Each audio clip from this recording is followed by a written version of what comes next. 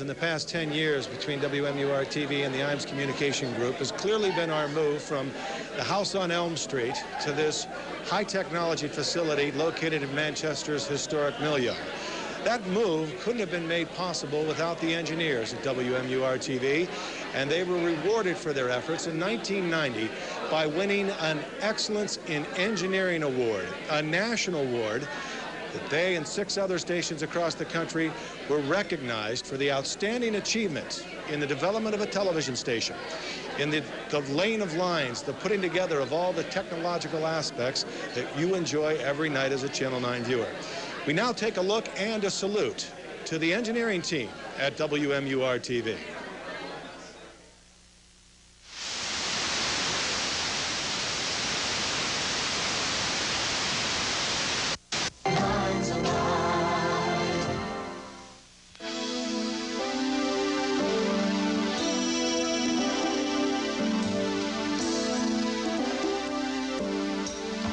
I'd say the functions of engineering is pretty much to keep the station on the air and keep the equipment running.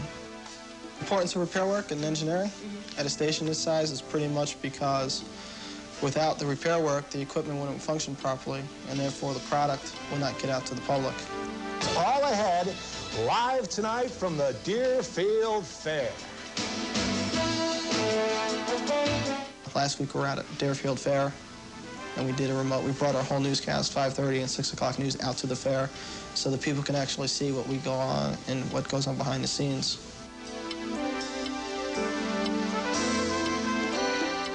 We'll go out in the morning or the day of and bring out their remote truck if need be, or our live van, depending what's needed in the case. And we have got production people that come out with us. We'll set up cameras by uh, camera cables, mic cables, uh, audio, AC.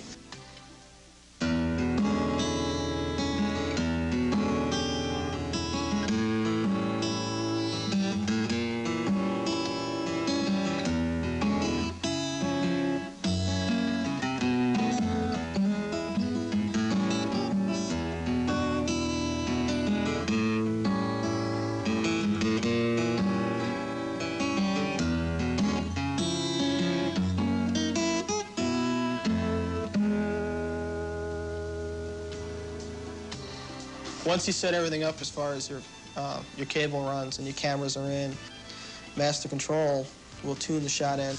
6, 35, 33, go back. The other way. 35, 36. Lock it down right here. This is good.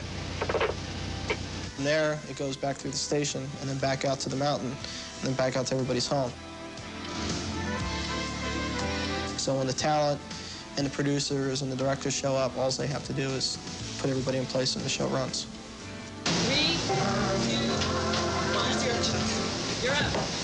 Once again, we're coming to you live from the 250-acre Deerfield Fairgrounds. We're going to have much more from you from this, the state's largest agricultural fair and New England's oldest family fair throughout our broadcast. There are times where you don't find out something will happen, spot news. I mean, like this, mor uh, this morning we were out in Allenstown, and there was this uh, hostage sniper situation. We had to go there, set up, be ready to go, and within 15 minutes,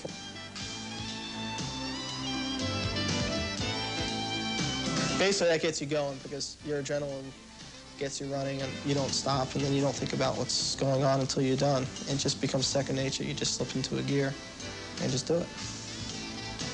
And the average public at home doesn't really see it and they don't really, I don't think they know how much goes into it.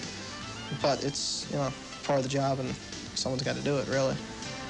News 9's Andy Hirschberger is in Allenstown at this hour and joins us now from the scene. Never mind. And thumbs up to the engineers. They always do a terrific They job. They do indeed. And you know, one of those engineers, Bob Walker, and I worked with that live truck when we first got a live truck here back in the early 80s. And it was a lot of fun. I learned a lot about how tough their jobs